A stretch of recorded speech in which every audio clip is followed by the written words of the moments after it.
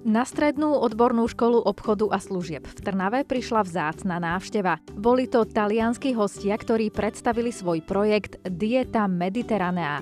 Ten zastrešuje ministerstvo školstva v Taliansku v spolupráci s talianskými veľvyslanectvami a kultúrnym inštitútom. V tomto projekte Dieta Mediterranea predstavujeme taliansku kuchyňu. Je to vlastne stredozemná kuchyňa, typická pre južné Taliansko. Vďaka takýmto projektom si žiaci obohacujú svoje vedomosti, jazykové schopnosti a praktické zručnosti. Takto v zahraničí si rozširujú svoj kultúrny rozhľad a otvorenosť voči svetu. Taliansko-slovenský tím pod vedením učiteľa varenia Filipa sa s radosťou pustil do prípravy tradičného jedla gnocchi alla Sorrentina. No páči sa mi, že sme sa zapojili aj my, žiaci, a že sme vlastne spolupracujeme s ich žiakmi.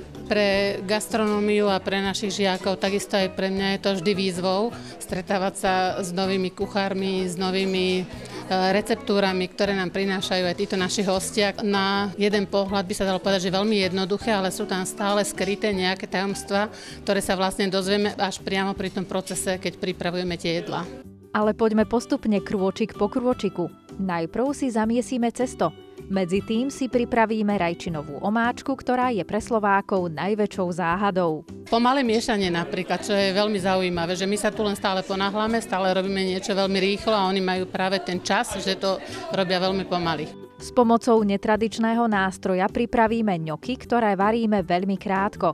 Zalejeme ich omáčkou, dochutíme syrom, bazalkou a podávame. Na budúce sa hádam naučíme aj ako sa robí typické trnavské jedlo. Talianskí majstri so sebou priniesli aj výstavu 23 panelov, na ktorých prezentovali svoje tradičné špeciality.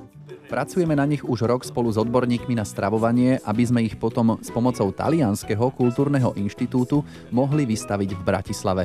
S projektom Dieta Mediterranea navštívia aj iné krajiny, akými sú napríklad Poľsko, Maďarsko, Bulharsko a Jordánsko.